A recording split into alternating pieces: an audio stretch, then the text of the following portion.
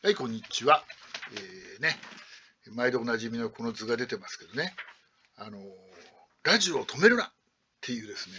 えー、自分勝手な、自分勝手っていうか、まあ、お願いですね、私のね、あの、ラジオファンなんで、村上無線ですから、ラジオ好きなんですよ。で、自分で作るラジオってやっぱりね、AM、ゲルマニウムラジオもそうだし、再生ラジオもそうだし、まあ、5級スーパーも AM ですよね。で、まあ、5級スーパーは私は作んないですけどね。えー、あの再生ラジオは、まあ、その辺にあるんですけど、えー、グルマラジオ再生ラジオはあるんだけど、まあ、あと普通のラジオもあるけど、ワイド FM 対応のラジオは持ってないんですよ。だからワイド FM でやりますから AM 止めるねって言われたら困るんです私はっていうことでラジオ止めるなって叫んでみるっていうことなんですね。で、あの、これ今また例によって総務省のページ見てるんですけど、この2月から実際に全国で、えー、ラジオの放送が一部停止になってるんです。ただですね、実はこれ低波とはちょっと違うんですよね。あの、AM 局の運用休止に関わる特例措置ってことで、今やってるのは、あの、社会実験なんですね。実際に AM 波を止めてみますと。休止、休止、お休みしてみますと。どんな影響がございますでしょうかっていう実験をしているっていうことだから、いや、まさにですね、あの、止めたら嫌よっていうふうに言ってる人もいるぞっていうことを、えー、まあ、YouTube で私は叫んどるというわけなんですけどね。あのー、この運用休止っていうことなんだけど、まあ、最終的には、えー、っと、2028年をめどに44曲かななんか AM を止めるないしは FM に、えー、あの、移動したい。ワイド FM にね、移動したいって言ってる AM 局があるらしいです。だけど、あの、実は東京、大阪、名古屋、私名古屋なんですが、東京、大阪、名古屋の局は、今回の実験にも、あの、ほとんど参加してません。1局で参加してるとこあるんだけどね。だ東京、大阪、名古屋の局は、2028年になっても AM 止めないんじゃないかな。まだ少なくとも止めるとは決めてないんじゃないかな。だから、まあ私みたいな意見の人がたくさんいればいるほど止めないということになる可能性がまだあるんじゃないかなと思ってるんですけどね。あの、はい。で、一応今回2月から止まってるのは、この間もちょっとやったんですけど、全国で13局ですね。北海道は実はね、止まる局ないんですよね。東北で北陸、まあ、福井とかね。で、東海ラジオ放送っていうのが、この東京、大阪、名古屋のね、あの、主要都市で唯一低波、低波じゃないな、休止をね、行う、AM 放送の休止を行うラジオ局なんですけど、でも東海ラジオは、あの、実はですね、本局は止めないんですよ。メインの 50kW の、えー、タワーは止めていないので、あの、あくまでも止めるのはね、えー、っとですね、これ確か東海ラジオのページに行くんじゃなかったかな。えー、持続の本、うん、そうそうそう、こうやってなってて、疾風送信所っていう、あの、名古屋に一番近い 50kW の、えー、メインの送信所は止めないんですよ。で、反対にあの、え、三重県とか、え、豊橋とか、岐阜の恵那とかね、そういうところのあの中継局の、えー、電波を止めるみたいですね。あのということなんですよ。だから、なんか中途半端な止め方の実験ではあるんだが、まあでも、その中継局を止めるからそこで聞いてる人っていうのは実際に、えー、AM の、えー、東海で聞こえなくなったりするんですけど、まあ、その、どうなんですかね、それが。あの、えー、私は実は、えー、そっちからのじゃなくて本局のね、あの、尻尾のタワーの電波を聞くので、それ聞けなく、あのー、えー、東海ラジオがこの休止の、えー、に参加したとしても、影響はないんですね。AM ちゃんと聞こえるんでね。で、東海ラジオ以外は、えー、ローカルですよね。で、東北、北陸、あと九州が多いんですけどね。RKB、RKB 毎日とかね。まあまあなんか、えー、大きなラジオ局のような気がしますけどね。そういうところが実際に AM の、えー、低波を行う。で、全部見てないけど、本当に FM しか放送しない曲もあるし、東海ラジオみたいに、いやいや、あの、支局だけ止めるよと。で、えー、FM 保管もやるし、支局、支局は止めて、本局の、えー、電波は残すよっていう曲もあるから、結構やってることみんなバラバラなんですよ。だから、一気に AM ラジオ低波に全てが向かってるっていうわけでもない。そもそも13曲だけだしね。44曲が、えー、2028年に、えー、あの AM 低波ないしは FM への移管をしたいと言っとる割には、えー、全ての曲があのこの実験に参加してるわけでもないしねだからやっぱり迷ってるんですよラジオ局もねやっぱり AM を本当に低波してしまったらで、えー、ワイド FM に移管してしまった時にリスナーがついてくるのかっていうのは大問題だと思うんですよね。カーラジオなんかねそのわざわざそれをカーラジオで AM 聞いてた人が、えー、あのワイド FM 対応してない例えばねカーラジオとかカーナビがついていたらそれをじゃあ、えー、ちょっと AM がワイド FM になったから対応するためにカーナビ買い替えるかっていう話にならないじゃないですか。あのだかコンバーターみたいなのはあるみたいですけど、まあ、いずれにしろとにかくかなりのリスナーを失ってしまうリスクがあるんで、AM ラジオ、コストの問題で AM の放送を本当に低波したいんだけど、低波することによる、えー、お客さん離れっていうリスクもあるので、リスナー離れっていうリスクもあるので、なかなか、あのー、決断できないでいるんじゃないかなと私は思ってます。えー、だからまあ、意外と体力がある東京、大阪、名古屋の局なんかは2028年になっても AM ラジオあの本当に低波はしないんじゃないかなっていうふうに、えー、メインのね電波は、えー、ちゃんと残るんじゃないかなっていうふうに私は思ってるしそうしてくださいよっていうことをですね、えー、残しましょうよ。AM ラジオっていうのをね、えとにかくあの今ここで叫んでるわけなんですけどね。でそのなんで休止するのかっていうの、これがね、Q&A に書いてあるんだけど、総務省の。えー、なぜ AM ラジオ放送を休止するのか、えー、民間 AM ラジオ放送事業者において、AM ラジオ放送の維持のコスト、維持コストの負担が難しいといった理由。で、FM 転換や AM 局の廃止が検討されています。検討されているだけだから決定はしてないんですよ、まだね。えー、だからやっぱり、で、だから今回そういう、えー、低波の休止のあの社会実験を行っている。どんな影響があるでしょうかっていうことを今見てるってことですよね。まあ、あの、見てるけど、本当のこと言うと経営的な判断が最後には来るんだろうと、それをやり続けるのがどうなんだという、そういうことだと思うんだけど、まあ、AM 低波、えー、やむを得ないというよりは、とりあえず、ラジオ止めるな !AM 放送してよって叫ぶ人がいるとね、ひょっとすると、何かの影響が少しはあるかもしれないな。ラジオファンっているぞ。で、あのたまたま最近、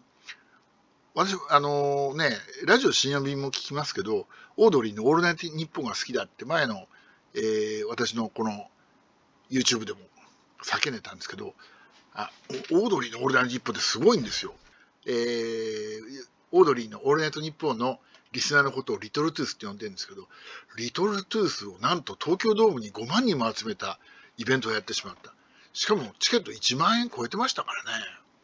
5万人、5万人ぐらいってことは5億円ぐらいでしょ。それだけのチケットを売り切って満員にして、東京ドームでオールナイトニッポンオードリーがイベントがやれた。ある意味でそれだけの力が AM ラジオにあるんですよね。まああれね、実はでも1年近く前から告知してるんだよね。いや、あの、日本放送大したもんだなと。あの、オードリーがもちろん人気あるのもそうなんだけど、お笑い芸人他にも人気ある人いるじゃないですか。だけど、お笑い芸人、お笑いで 芸人のイベントで東京ドームのベントなんてすごいことですよ。で、あのこの AM ラジオが一番、なんていうのか人気だった深夜放送、えー、絶好調の時代だって、そんな5万人も集まるようなイベントをですね、えー、ラジオ番組の冠でやれたっていう話は、私は聞いたことがないので、すごいじゃん。あのオールナイトニッポン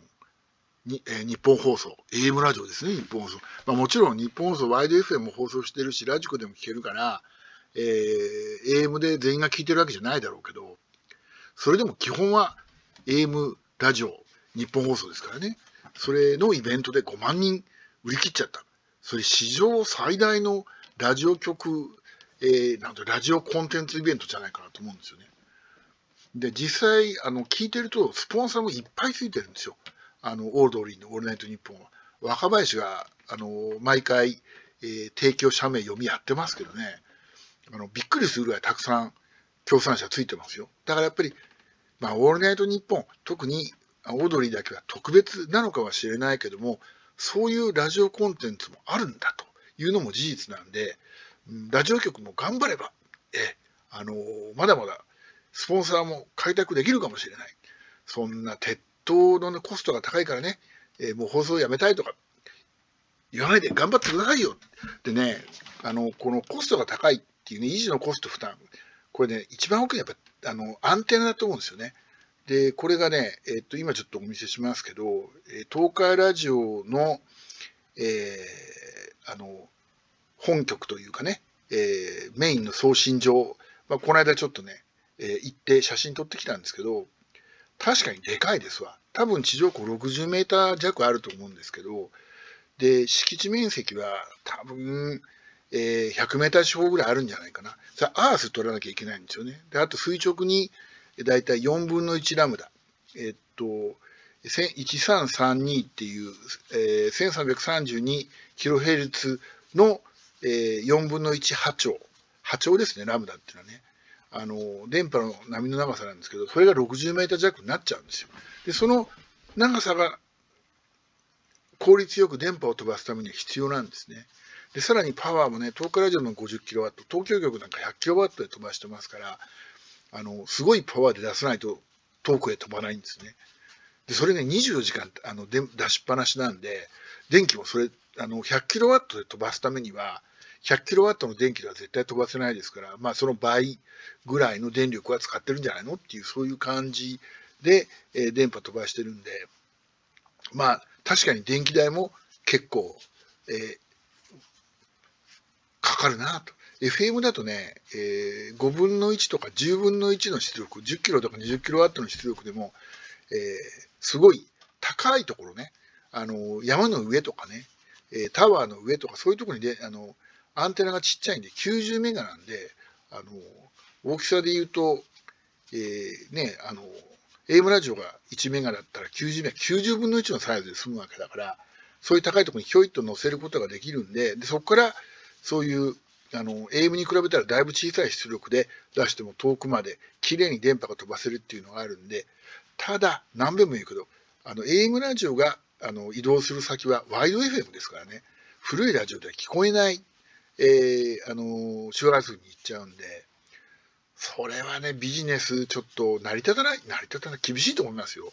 本当に。それでいきなりあのもう今日から FM 局でございって言って AM がやって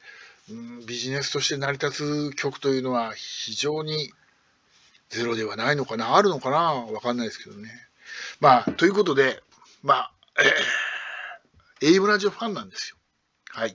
てことでね、あの、また出ましたけどね、これがね、FM 局、AM 電波のね、飛び方が違う。で、やっぱりその、飛び方が違うんで、あの、災害の時なんかも、FM なら、FM は飛ばないけど、AM は飛ぶっていう場合もあるし、であとやっぱりその、あの、ね、スマホって電池すぐなくなるじゃないですか。AM ラジオとかものすごい、あの、えー、まあ、ラジオ、単なるラジオっていうのは、電池すごい持ちますから、あの、スマホみたいに1日でなくなったりしないですから。えー、で、あと、スマホで操作しながら、スマホからラジオ、ね、ラジ、ラジ、スマホだけどラジオ聞けるってのもあるけど、スマホの電池がなくなっちゃえば、そのえー、スマホラジオのラジオも聞けなくなっちゃうわけですからね。もちろんラジコも聞けないしね。となると消費電力食わないちっこいラジオの、えー、炭酸ラジオのあの炭酸乾電池のラジオなんかだったら、ラジオ聞いてるだけだったら本当に何日間からから聞いててもそう簡単にはなくならないぞみたいなそういうものなんですよラジオってあんまり電気食わないものなんですね全くスマホと違うんでねやっぱりそういううん、災害用に情報収集の手段としてラジオっていうのを考えた時にスマホでも聞けるやんっていうのはすぐ電池がなるなくなるスマホじゃダメだと。やっぱりラジオ。電池満タンにして置いときましょうっていうのとね。あとやっぱりその SNS とかの情報って確かに早いんだけどあの何が本当で何が嘘だか分かんないじゃないですか。やっぱりラジオ局っていうのがちゃんとしっかりしてくればラジオから流れてくるあのニュースっていうのはまあ、少なくともある程度ラジオ局でフィルターをかけて真実ないしは真実であろうとラジオ局が判断したニュースを報道してくれるんで、えー、インターネットみたいにもうみんながむちゃくちゃなこと例えば全とんでもないなんかねあの外国から飛んできたデマみたいな、えー、報道、えー、被害状況みたいな話までね、それでアクセス数稼いで、えー、なんか、あの、広告料を取ってるような、そんな話もありましたからね。そんなようなのに惑わされないためにも、やっぱり、えー、ラジオっていうのはね、すごい重要な、あの、情報源になる可能性があるんで、とにかく、AM も FM もなんですけど、ラジオを止めるなラジオがね、頑張って残しましょうよっていう、そうラジオ深夜便の第一 NHK、AM、これはなくならないですね。まあ、あの、あとは民放がどこが残ってどこが消えるかっていましたけど、東京、大阪、名古屋はなくならないんじゃないですかね。あと、本当にローカルのラジオ局の AM が本当に東京、大阪、名古屋以上に経営が苦しいんで、えー、もう局がなくなってもいいぐらいの覚悟で AM を止めて FM に、えー、移管する曲が出てくるのかもしれないですね。下手するともう局なくなっちゃいますよ。それやったら。ローカルでもともと経営苦しいのに、あのー、えー、そうやって普通のラジオで聞こえないワイド FM の周波数に移りました。そこで FM 局として、えー、あのビジネスとして広告が集まって成り立って非常に考えにくいんで、まあ、なかなか厳しいことになるんじゃないですかね。まあ、大変だと思いますけどね、頑張ってください。ラジオを止めるな聞きたい人はいるんだ !AM ラジオもね、止めないでよ。私は AM ラジオが好きなんだ。あの、AM ラジオってね、あの音がね、悪いって言うじゃないですか。もう、実はね、そうじゃない。人が喋ってる声を聞くのは、AM ラジオの音が一番ちょうどいいという説もあるんですよ。FM の方がね、広い帯域、音声の、あの、広い域ま、高音域とか低音域までね、あの、聞こえるんです。AM はもっと狭いんですね。ちょっと電話に近いんですよ。電話とかでもっと狭いんだけど、中音式しか、中音域しか聞こえないっていうことなんだけど、それがだけど人の声を聞くのには実はちょうどよくて耳に心地いい。ね。あの、要するに音楽を聴くっていう特には確かに FM のがいいよね。だけど、もう今 FM だってなんかみんなすんごい喋ってるね、あのお便り読んでる、まあ今ツイッター読んでるっていうのを考えたら AM みたいなことやってるじゃないですか。だったら、ああいうのは実は AM の聞こえる音の方が、うん、人の、なんていうのか耳に気持ちいいと私は思うんですよ。で、そういう説も実際にあるんですね。だから AM ラジオは、うん、止めないでほしいな。ラジオ止めるな !AM ラジオだって止めるなゲルマニウムラジオ作って遊ぶことってできなくなるじゃないか。再生ラジオでピーとか言いながら、えー、ね、合わせて聞くこともできなくなるじゃないか。えー、やっぱりそれは電波が飛んでるからできるんでね、電波止められちゃったら全然意味なくなっちゃうんでね、あの、子供たちだってね、今でもゲルマニウムラジオを初めて作ってね、イヤホンから聞こえて感動するっていう、そういう子供少しはいるかもしれないですよ。えー、私みたいな年寄りがね、昔思い出して作ってる場合もあるし、いるんですよ、AM ラジオ楽しみにしてる人。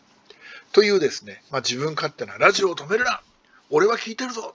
ね、止められたら困るぞ俺はワイド FM のラジオ持ってないぞえー、そんな、あの、えー、コスダウンだもう、あの、AM 放送やめたって言わないでくださいよという話を、この YouTube で本日はね、アップロードしてみました。ね、山越えて飛ぶんですから、ね、FM は山越えられないですから、山に当たったらそこで止まっちゃいますから。まあ、あのー、ビルの中は FM の中なぜかね、入ってくるんだよね。AM はビルの中で聞くと、すごい聞きづらいんですけどね。昔みたいに木造の家とかだったらあんまり影響なかったんですけど、マンションの中に住んでると AM ラジオはちょっと聞こえにくいっていうのはあるかとは思いますけどね。まあでもね、やっぱり AM は AM でいいとこあるんですよ。はい。